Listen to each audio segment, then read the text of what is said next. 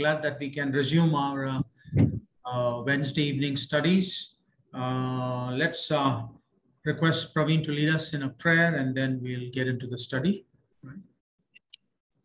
Father, we are in your presence, Lord, with the attitude of gratitude for providing us another opportunity to come and join with our brethren and to study your word, Lord, especially as we are going to uh, study the church history, Lord. I pray that you may help us understand how we have reached to the faith that we have today, and uh, we may learn the good lessons that may teach us about uh, Christian living and uh, test- testifying your name and the gospel, O Lord.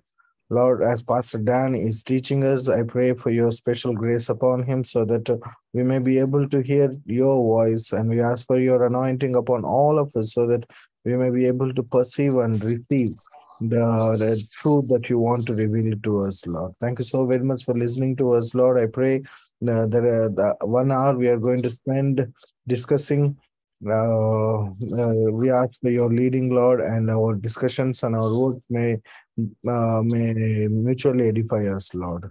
Lead us and guide us. In Jesus' name we pray. Amen. Amen. Amen. Well, uh, let me see. I just noticed that my brother Bobby has joined us. Some of you will remember him. uh, I think, uh, Bobby, you might know Bertie. Bertie is with us, and uh, Mr. Sanjeeva Rao, and uh, Surya Murthy. Your brother? That's correct, yes. Oh, how nice. Yeah. Hi, Bobby. Okay. All right, let's uh, proceed with uh, our study today.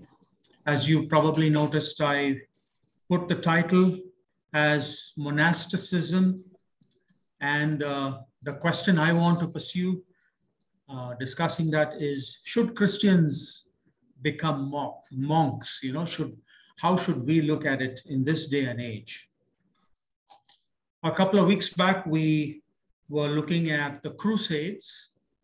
And uh, as we looked at, of course, the split before that into Western and Eastern Christianity, uh, then, of course, we studied the Crusades. We had completed 1,000 years of church history, uh, right from the beginning of uh, the establishment of the church. Amazing how time has gone by. And now we are into the second millennium of uh, looking at history. And I was interested in this because it was, I think, uh, in the second millennium that the whole monastic uh, movement took uh, greater, you know, precedence. So what I'm planning to do again, as usual, is to give you some thoughts on the practice, uh, the history, and then we will get into a discussion on these questions. All right. Okay. Um, so monasticism in and you know in the uh, second millennium started becoming popular, even though it started even previous to that. Even in the early first millennium, uh, we have records of those who, uh, you know, practiced this kind of a discipline. Um, just to define it, Christian monasticism is the devotional practice of Christians who live ascetic and typically cloistered lives dedicated to Christian worship. All right, so it is uh, uh, separating oneself from mainstream, li mainstream life and uh, becoming ascetic or, uh, you know, uh, embracing a hermit type of life and then uh, dedicating one's life to worship or a few other things that we will discuss. The word monk originated from the Greek monachos, which means alone. Mono means alone. And so uh, many who started in this particular discipline, uh, you know, separated themselves and went away into the wilderness or to the desert to live solitary lives and for just an academic purpose, these who, those who live, you know, all alone by themselves, like a hermit, are called eremitic, you know, uh, monks. But later, there were those who, some of them came together and formed communities to further their ability to observe an ascetic life. These people who formed communities and lived by themselves are called Cenobite.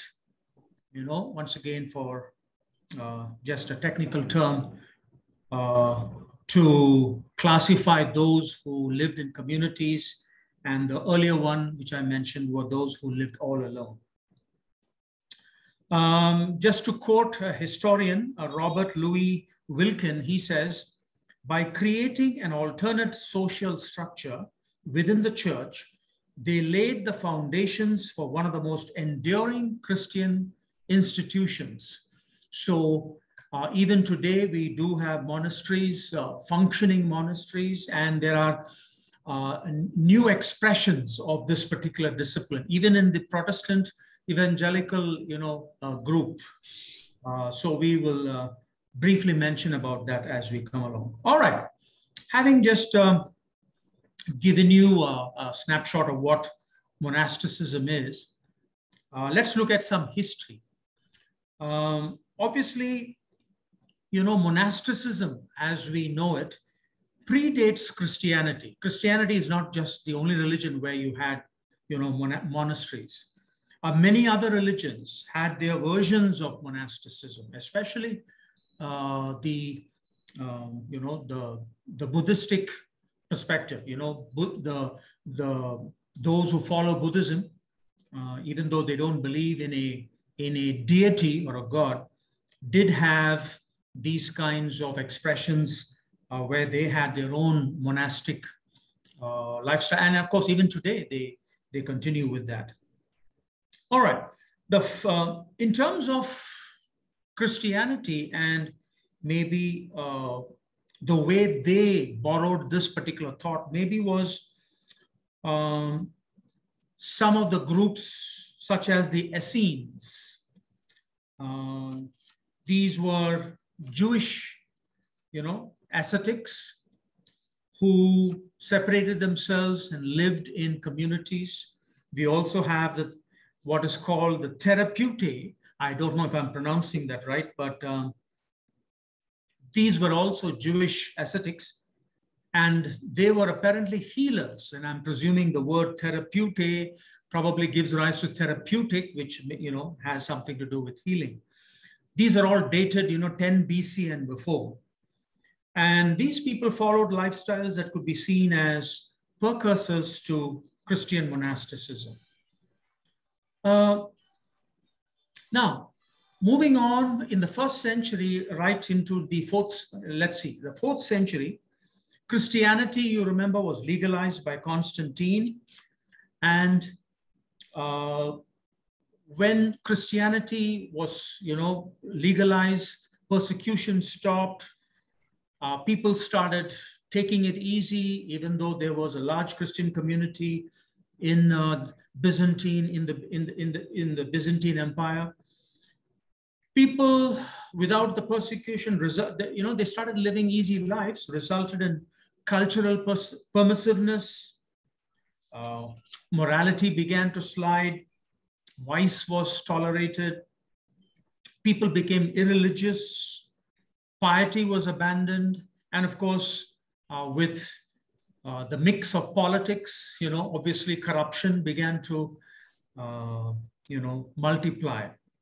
And so when Christianity started going through its problems after it was legalized, uh, there were some who were very, very upset because of what was happening, uh, especially the moral decline. And they decided to separate themselves. And uh, in the fourth century, that was one uh, reason why that gave rise to the monastic lifestyle. Many of these people fled to the deserts, especially the Egyptian deserts, and they began to be called the Desert Fathers, another technical uh, terminology for, you know, uh, in this particular subject. So they used to live all alone in the deserts. And so they were called desert fathers. And what was the motivation that they uh, that made them do this? Obviously, it was deep awareness of one's own sinfulness and a consuming quest for holiness. Now, some some tend to, you know, uh, say that maybe this movement offered some protection from, you could say, profligate Christianity. Uh, at least some people separated to preserve Christianity in its purity. And so some people surmise that maybe that could be a reason. Uh, we have some protection or rather the continuation of Christianity uh, as we know it. All right, looking again at some history, the head of a monastery, these, are the communal uh, monks, came to be known, I mean, they were called father in, the, in Syriac, Abba, which then came to be known as abbot. And so the head of a monastery is, as we know it in English, is, uh, is called an abbot. Who are some of the famous uh, monks, you know, through history? And we can first mention Saint Anthony of Egypt, who apparently left civilization behind to live on a solitary Egyptian mountain in the third century. This is, of course, even before uh, Constantine. So uh, some history, some historical records say that he may have been one of the first Christian monks, or rather who started the monk monasticism as such.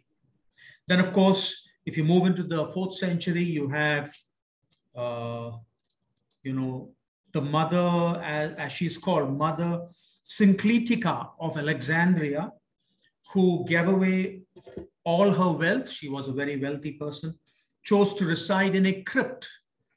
A crypt is a chamber, you know, wholly or partly underground. Uh, sometimes it is dug into the church floor, and some people decided to live in areas like that. I've also heard that some people would go to uh, some you know, room in a, in a uh, church, you know, building and lock themselves up for years and years. And so uh, this is how, you know, monasticism began uh, to be practiced in those days. All right, then of course, um, it spread to Europe uh, and we have the name Saint Benedict of uh, Nursia, who I'm sure you will know formed the Benedictine order. Uh, he was the one who formalized this monasticism uh, and he wrote the rules with regards to how somebody who wants to live a monastic life uh, will have to follow. Uh, they had to take vows, which is lifelong commitment, fidelity, obedience, poverty, chastity, these were all the, you know, uh, conditions for accepting the uh, order according, or the Benedictine order, you could say, who started this. Saint Francis of Assisi is another famous name, who was a mist, uh, who practiced mystic contemplation. He was the one who used silence a lot uh, you know, who uh, believed that through silence you can hear God, you can commune with God. he started the begging order or the mendicant order, as it says. And he promoted poverty as a vehicle to holiness. So he lived a very simple life uh, and uh, basically formalized, you know, uh, living in poverty. So that is some of the history I've brought. I've just uh, you know penned down to share with you. There is much more that you can you know look at, but I don't want to clutter uh, you know the study with uh, too many details. You can. I'm just whetting your appetite. You can go and have a look at it and look at all the other names that are mentioned. But I want to go now to what were the practices of the monks All right. First and foremost, it was isolation. All right. They, they believed in isolating themselves or separating themselves from the world, basically to avoid temptation. So that was one of the, uh, you know, uh, reasons why they would get into this kind of a lifestyle. They believed in renouncing all creaturely comforts, uh, like, for, for example, living in poverty, as we mentioned with regards to St. Francis. Uh, they would believe in begging for, you know, food and for basic sustenance.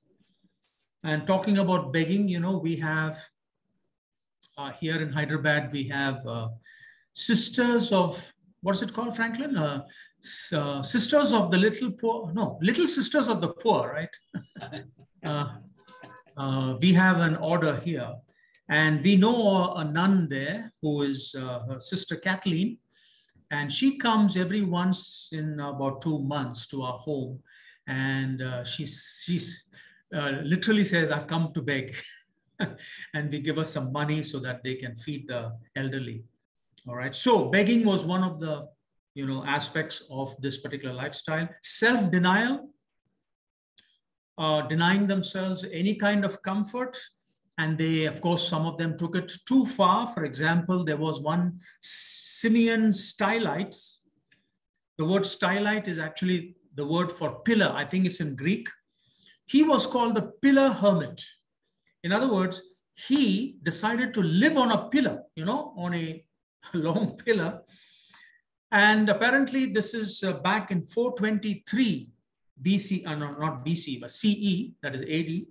423, till his death, he stayed on that pillar, and apparently, it was 37 years. I keep wondering, you know, how do they do their normal jobs living on a pillar? It's uh, quite a self-denial, I would say. Now, so uh, renouncing all creaturely uh, uh, comforts was one of those, uh, uh, you know, things that they believed in. Devotion to prayer, you know, lots of prayer. They would spend hours and hours just praying. Uh, and it is said that another monk, Abba Arsenius, as he's called, would lift up his hands in prayer at sundown Saturday, not resting them until the glory of Sunday had shone on him. In other words, Saturday sundown to Sunday uh, uh, sunrise, he would be with his arms stretched out praying. So that's the kind of devotion that these people uh, would display. So lots of prayer, uh, that is another practice of these monks. Uh, with talking about prayer, there is something called the hesychasm, which is a monastic system that seeks to achieve divine quietness by reciting the Jesus prayer. Have you heard of the Jesus prayer? Uh, the Jesus prayer goes like this Lord Jesus Christ, Son of God, have mercy on me. And that phrase is repeated again and again and again, thousands upon thousands of times. They keep repeating it because they believe that they get some kind of absolution if they repeat that prayer. So that is called the, uh, the hesychasm or the Jesus prayer. Another practice of the monks were what is called as the uh, lectio, uh, uh, lectio divina and study, which means that you must prayerfully and meditatively read sacred uh, scripture. So lectio divina is basically reading scripture in a in a meditative manner and a prayerful manner. They will read, they will pray, they will read again, and that way they believe they will get some illumination into the scriptures.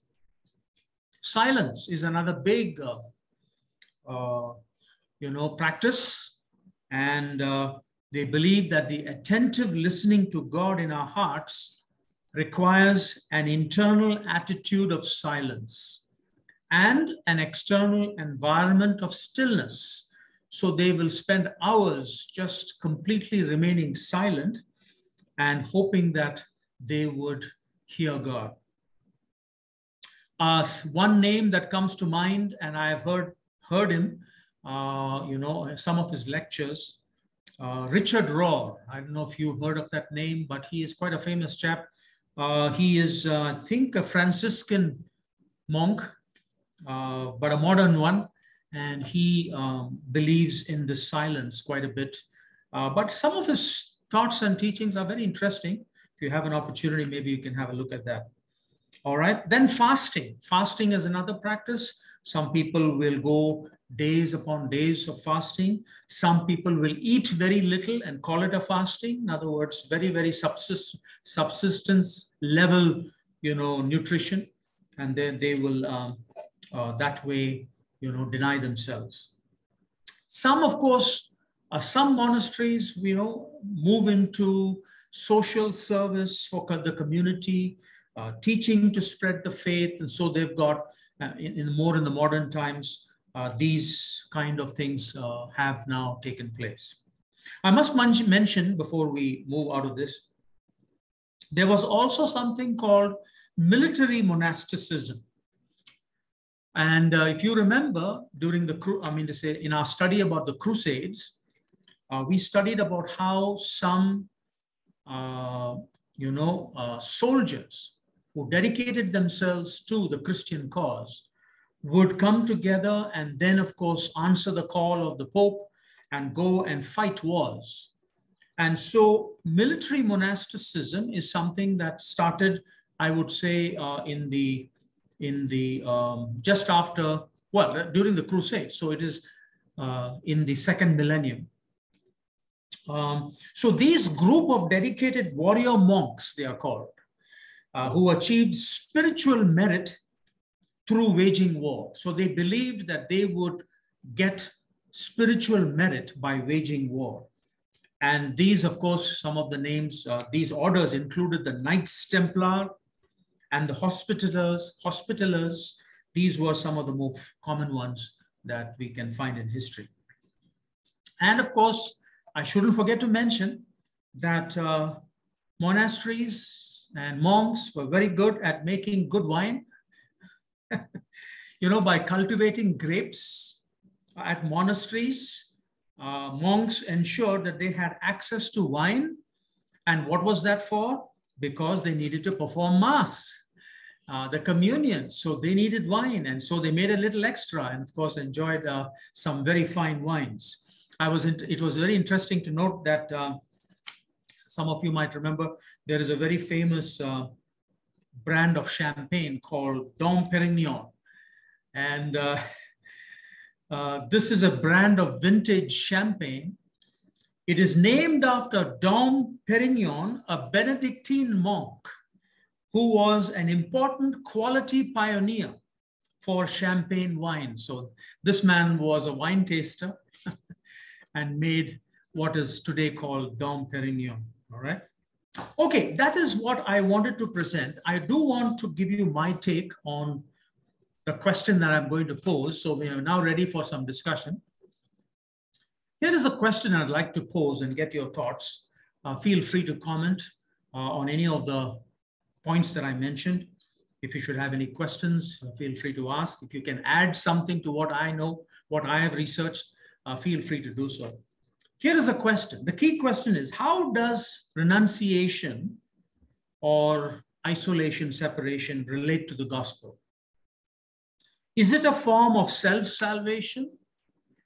Is it works of righteousness, an atonement, uh, an atonement for sin based on denial of the self? So all of these practices uh, how do we how do we understand them? How can we term uh, term i mean to say how can we understand them from what we know from scripture? Is it a legitimate form of repentance uh, an essential preparation for joy because you're denying yourself now so that you can you can experience joy in the in in in, in salvation? And some and one of the key scriptures many of these uh, monks would use is Matthew chapter 16, when Jesus says, uh, If anyone would come after me, let him deny himself and take up his cross and follow me. For whoever would save his life will lose it, but whoever loses his life for my sake will find it. Okay, the floor is open now. I'd like some of your thoughts, questions. Feel free to come in with uh, your comments. And uh, little later, I will give you my take and then we will conclude. All right, go ahead.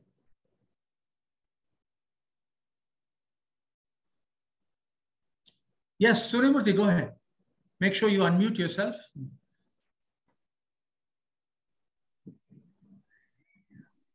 Overall, it appears that God never intended human beings to lead this monkey life. You're saying that God never intended for this, this kind of uh, Yes, uh, practice? yes, monkey. M O N K Y, monkey life. Uh, I'm not sure what you mean by that, but uh, I'm, uh, you know, if you want to explain, you can go ahead. Otherwise, uh, the life of a monk.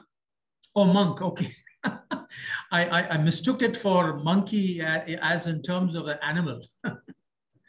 Can you hear me? Uh, Daniel, can you hear me? yeah, Bobby, go ahead. No, I mean, the whole foundation of it is, you know, salvation by works. And it's very much a Catholic tradition. And most of this started, I mean, for, for- forget the, the Jewish ascetics, etc. It's very much, you know, something that the Catholic Church, uh, no, and, and the whole thing about self-punishment. I mean, there's a lot of practices other than just being, uh, you know, an ascetic. There is also a lot of things about punishing yourself physically and mentally. I mean, sitting on top of a pillar, I mean, has a lot of punishment attached to it. So the whole thing is founded founded on this works thing, trying to work your salvation and trying to compel God to grant you grace and salvation. I think, uh, yeah, that is absolutely right, especially from our grace based understanding of salvation. Uh, salvation is not of works, but of grace. Any, any other thoughts that the others would like to venture? Yes, Bertie, go ahead.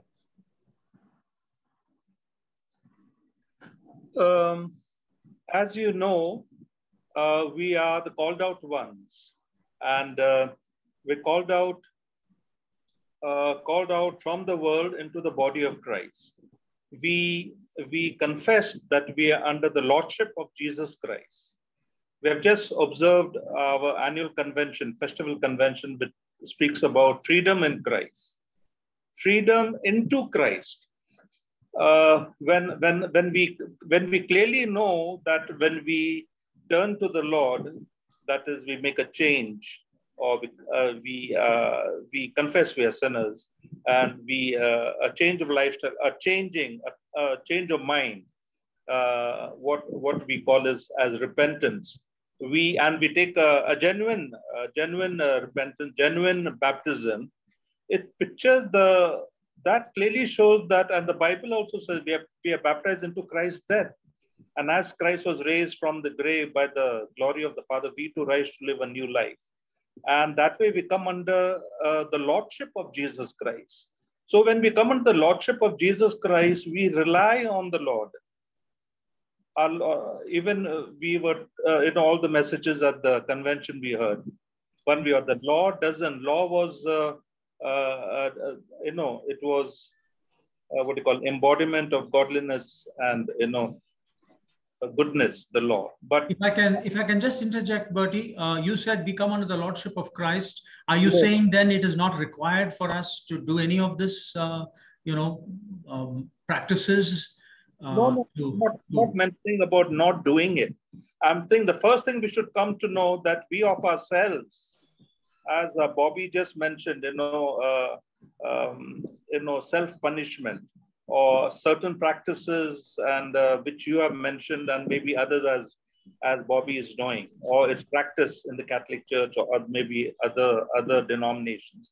They try to do it as he says. We do it. Try to do it by works. Uh, that work, and we, as we know, we have been delivered from that.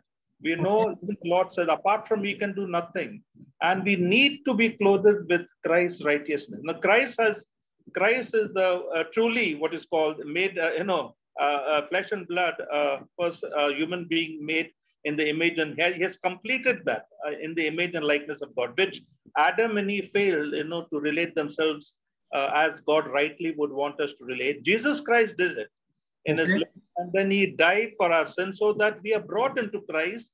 And that's why it calls in Isaiah mentioned in, repent, in returning or in return or in turning or in, uh, in yeah in returning and rest will you be saved? Yeah. rest we get that rest in us you know. That's why the bible says love joy peace and other things come. So we should be we should be acutely uh, uh, acutely uh, you know knowing or you know reminding ourselves that we need to be need to have christ. We are a new creation in christ. I don't say that uh, we should not practice. Some some people still practice the sabbath and i for one i for one for one would like to you know keep aside at 24 i'm not telling the church should my myself personally where i know i don't uh, uh, don't want to do it like you know the sabbath which is supposed to be a sign between uh, between god and israelite. Now jesus christ is a sabbath. So we should be having and we should be experiencing the love joy and peace trusting in him. I'm not saying that we should not practice any of the thing that you're saying. Yeah. Uh, some, some of those practices extreme got you got you buddy yes and i know that uh, you know, when you mentioned the Sabbath practice, uh, and you have sacrificed a great deal because of that, and uh, we we salute you for that. Thank you for mentioning. But yes, I, we got your point. Um, Christ ultimately is the one who frees us, not any of our works. Surimurti, you had a thought? Uh, just uh, unmute yourself, please. Thank you. Jesus Christ said, that we should have life abundantly, an abundant life, not a life of self denial. All right. Yeah. I mean, uh, yes, but the abundant life at this time, in this day and age, will also include sometimes persecution, sometimes suffering. Uh, the abundant life, of course, we are moving into it, the fullness of the kingdom but yes, uh, uh, I don't think God would want us to, you know, suffer the way uh, these people are advocating. Franklin, you had a thought. Sorry. Yes, sir. Go ahead. Sir,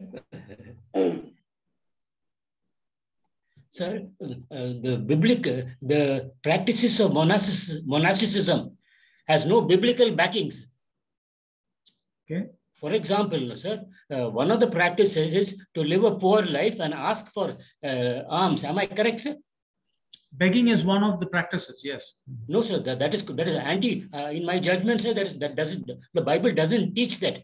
For example, sir, the Apostle Paul, sir, himself, sir, when he was involved in ministry, he was still working as a tent maker. Okay. The Apostle Paul, he said, "I don't want to be a burden to anybody." Uh, you have to go and work uh, you can't live on on uh, what you call so Americans call doles. yeah. and uh, there's one there's one more one more problem, sir. Hmm. Some of the practices are in the monasticism is contrary, sir. Sir, one like of the what? practices says uh, you should live a life of isolation. So it says you have to live a life of isolation. And then another uh, practice says go and do social service. If you are going to live in isolation, how can you go into society and serve? Okay. All right. Uh, yeah, I mean, uh, those who live in isolation obviously will not do social service.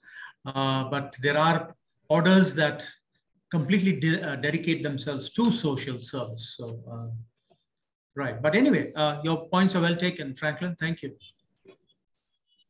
Any other thoughts or comments you'd like to make? Yes, Bertie, please unmute yourself.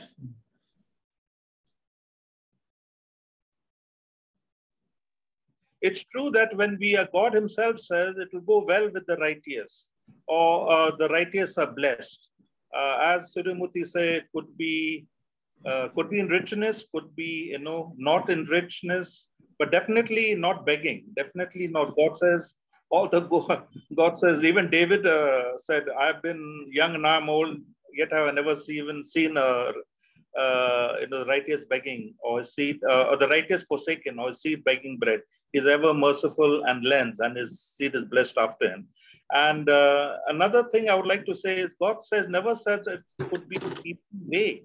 Uh, God has already said, you know, broad and wide is the way to, is the road to destruction. Many there be that enter thereat. But uh, because the um, because the road is narrow and straight, S-T-R-A-I-T, straight difficult, and few are there that enter therein. Another place says those who will live godly lives in this world will, will have persecutions. So we have to have, you know, take it in the right, you know, we are living in a fallen world. We have to take it in the right sense. Right. But uh, let me say that that following the truth, and God says his paths are mercy and truth. Uh, for all those who, it's given in Proverbs, all his paths are mercy and truth to them that uh, keep his covenant and testimonies. And so there are many blessings, answers to prayers, and healing, deliverance, what, you know, because God is our Father, He is our Creator, and uh, He's molding us uh, into But the thing is, we have to be truly in Christ. That's what is called you know, the bottom line. Apart from Christ, uh, we can't follow false Christ. Yeah. Okay. Well, got the bottom line. Thank you, Bertie. Let me just quickly then uh, just share some more thoughts and then, uh, you know, as we come closer to the end, um, just give you some of my thoughts on this. Uh, the monastic tradition, some people say, uh, for defending it, apparently was inspired, not mandated. They don't say it's mandated, like some of you already mentioned. Uh, but inspired by Elijah the prophet who lived, you know, in a cave John the Baptist, who lived, you know, uh, away from mainstream society as such. They even quote Jesus 40 days fast in the wilderness. Uh, though they quote these things, I would agree that uh, there is no way that the Bible promotes such a practice where somebody goes off into isolation. All right, it doesn't promote that. It is not against it, but it doesn't promote that.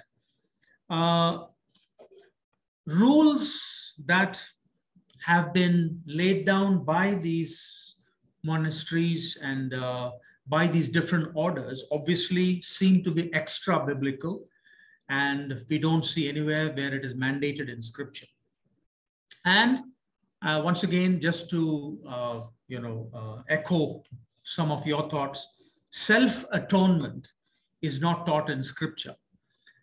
Only Christ's atonement matters. Uh, our atonement, you know, does not save us. It is Christ who saves us, right? Galatians, I'd just like to read you Galatians chapter 2 and verse 16, where it says, We know that a person is not justified by works of the law, but through faith in Jesus Christ. So we also have believed in Christ Jesus in order to be justified by faith in Christ and not by the works of the law, because by the works of the law, no one will be justified. So, by doing the works of the law, you're not justified. Then, how can you be justified by doing extra biblical laws? You know, laws that you yourself form you, and obviously doesn't make uh, much sense there. Uh, I just want to quote Martin Luther, who, you know, the reformer, who had a thought on this. He says monastic vows rest on the false assumption that there is a special calling, a vocation to which superior Christians are invited to observe the counsels of perfection, while ordinary Christians fulfill only the commands. But there simply is no special religious vocation since the call of God comes to each at the common tasks. In other words, he's saying you, you should not separate Christianity into some special calling and, uh, uh, you know, an ordinary calling. Uh, and uh, these monks believe that their special calling makes them have to do these things. Uh, that is dividing Christianity, bringing a wedge between uh, Christians. And that is, I think, rightly said by Luther. Just to, just to bring in Paul now, the Apostle Paul, in Colossians chapter 2, uh, he says, Why, as though you still belong to the world, do you submit to its rules? Do not handle, do not taste, do not touch. These rules are based on merely human commands and teachings. Such regulations indeed have an appearance of wisdom with their self imposed worship, their false humility, and their harsh treatment of the body. But they lack any value in restraining sensual indulgences. I mean, that is a that is spot on, right? The Apostle Paul uh, saying that, you know, the harsh treatment of the body does not gain much because Paul was opposed to these practices because they were ineffective in producing true holiness. Because the real problem is internal, you know, it is had to do with the heart. And that's why the prophets call, talk about having a new heart. And someday we will all have that new heart where we will not have any problem with temptation and all of those things. All right. Now, even as we say that, we cannot deny the fact that some good has come from this movement. All right. Um, for example, monasteries have encouraged literacy, uh, promoted learning, and preserved the classics of ancient literature. And if you remember the Qumran uh, ascetic movement, you know, copying of scripture, uh, dated 150 BC. Uh, the Dead Sea Scrolls are from Qumran, where they wrote out scripture and you know preserved it in those uh, uh, in those jars. Uh, so we can't deny that there is some good that has come, but obviously we have to temper this whole thing with what we have already mentioned.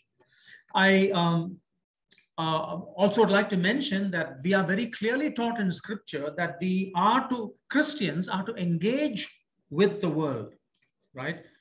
Uh, we are of course told not to be, uh, you know, not to, I mean, we are in the world, but not to be off it, right? Uh, because we are supposed to be, though we are in the world, we are supposed to be salt and light of the world, as Jesus said. And one more thought when we bring our Trinitarian perspective, Father, Son, Holy Spirit, the very essence of Father, Son, Holy Spirit is love. And what is love? Love is sharing. love is outgoing otherness, you know, concern for the otherness. Uh, it is not isolation. Father, Son, Holy Spirit don't isolate themselves. They always live in community. And so, um, from a Trinitarian perspective, obviously, this practice of isolation then can, you know, we can put a big question mark on that. Uh, let me quickly end by saying that today, this day and age, there is something called the new monasticism.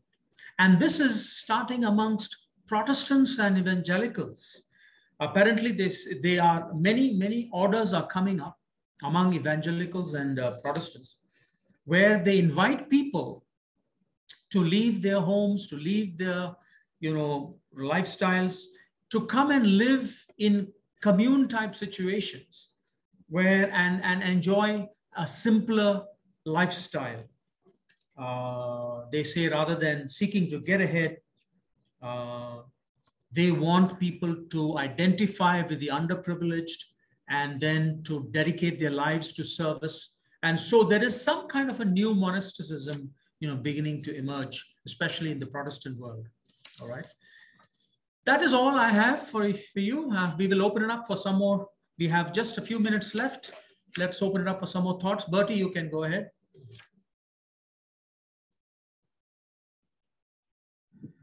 Uh, the retreats, uh, you, uh, we all have heard of the retreats that uh, uh, these churches uh, organize, where you are, they go, go to a particular place, and you know it's apart from you know it's it's not the their normal day-to-day life, but they are they have retreated retreat. They go to a place where more more time is spent in in yeah. the more time is spent in prayer in maybe even fasting or maybe you know just uh, modest eating. But it's you know a couple of days a day or two or maybe even more they retreat. Uh, and uh, would that be uh, well i think that is uh, uh, quite a quite an effective thing i feel. You know it's it's not again it's not mandated by the bible right. but um, you know it's helpful. Yeah, I guess uh, what you're saying is interesting, Bertie. Uh, I, I'm presuming that's more for, you could say, like recharging your batteries, uh, you know, to uh, get uh, refreshment. I don't think people do that with the with the uh, goal of trying to go for you know repenting or uh, thinking that they are doing some kind of a penance to receive absolution or to receive you know forgiveness from god you you know you can do nothing to uh, yeah. receive forgiveness from god. It's a free gift that god offers.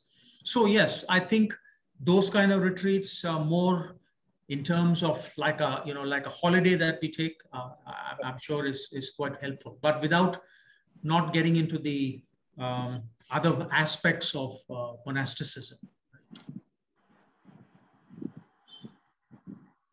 Yes franklin go ahead. Sir uh, mr mr bertie gave an excellent point sir yeah uh, begging is not a is not a christian principle what is uh, not let me substantiate what bertie said sir begging, begging, okay. begging, begging for food is not a Christian principle. Uh, let me substantiate what Bertie says. Psalms 37, uh, sorry, verse 25 and 26.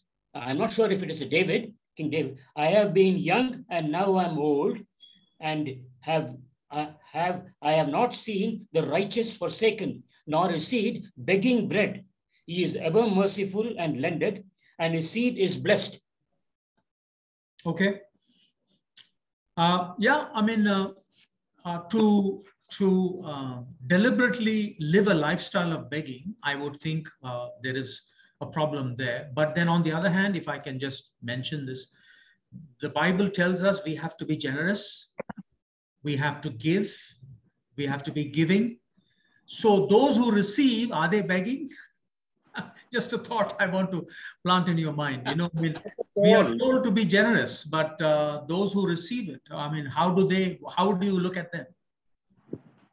That's not at all. Uh, it's not begging at all. Okay. Uh, yeah, even the first century Christians, uh, you know, they they lived lives uh, which are more, you know, togetherness, like cooperative lives, where uh, you know, four, four, four four practices of prayer, you know, breaking of bread, uh, uh, following the doctor, uh, apostles' doctrines, and in um, in uh, one more. And uh, this thing is, uh, plus they had things in common. Yeah. And it's a, the example given is people having lands and like you know lands and homes. Even it's clearly mentioned they sold it and brought the money and kept you know brought the portion and kept it at the apostle feet. And it was distributed to whoever was in need you know and there was not a person but, lacking uh, yeah, what, what, you're saying is that is not begging but that is uh, you know living uh, generously towards others right? Yeah. And in fellowship. God says there'll, there'll always be poor and rich. You says god has created the proverb says yeah. Uh, the, okay. the poor and the rich you know and uh, you know that way. And uh, God has given talents to certain people where they use it and, you know, and they're able to uh, be uh, more like, you know, the talent, 10 talents given, you know, shows, that you know, they are more, uh, they are more sort of uh, most industrious, industrious or they're using the talents to, uh, to be, you know, to be, to grow rich. And, uh, but, uh, and, but God always says that the poor should be remembered, you know, yeah. the, the not so rich, I could say. Got it. Uh, yeah, so got it. Remembered, but definitely none of those things apply to us. Yeah. Okay. Who are the who are following the Lord, none of it. Uh, rather, God says more. It's more blessed to give than to receive. Sounds good. Giving, as you said, generosity is a must for God's people. Excellent. Especially, right. especially those who have, those who are able to give, those who are able to give. Right. Thank you. Yes. Any other thoughts from anybody else? Uh, yeah. Yes, uh, Praveen, go ahead. Yeah, may I share uh, three thoughts in a short form? Sure. Uh, first, my comment towards uh, the so-called this begging thing which we are talking about. This begging is not out of need to survive. This begging is out to show and live a life of humility. So these are the people who are very rich. They sold their properties and they have given to poor and now they are living a life of humility this begging is not about they don't want to work and they're lazy they want to uh, get some kind of uh, sustenance Uh, that is number one. Second thing I wanted to share is uh, uh, institutionally and intellectually, especially the mona, uh, these these monks who started, they were been completely influenced. these are highly educated people. Most of them are highly educated people. These are uh, mostly influenced by Greek philosophy. Uh, when Greek philosophy started overtaking Christianity, these uh, it resulted in these kind of forms. Uh, in if you read in the church history, also we find it very much.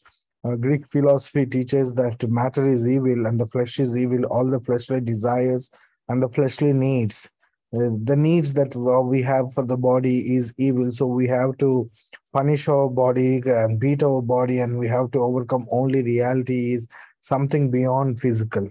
So that is the very reason these people are completely denying the physical needs and physical reality of life. So intellectually, this is uh, Greek philosophy which is overtaking Christianity. Uh, that is the reason they are following these, and not only these, whatever the practices which we have heard from about uh, um, monks and all these are fo- fo- followed among uh, uh, Greek philosophers also. There are Greek religious people. Uh, you might have heard about. Um, uh, one group is Epicureans, the other group is uh, mm, you'll find uh, we will find in First John actually who tell us to deny everything. So th- there are two phases for these Greek philosophy phases for these Greek philosophy, like the two sides of the coin. One teaches that uh, we have to live in absolute purity. The other teaches we have to live completely in um, uh, denial.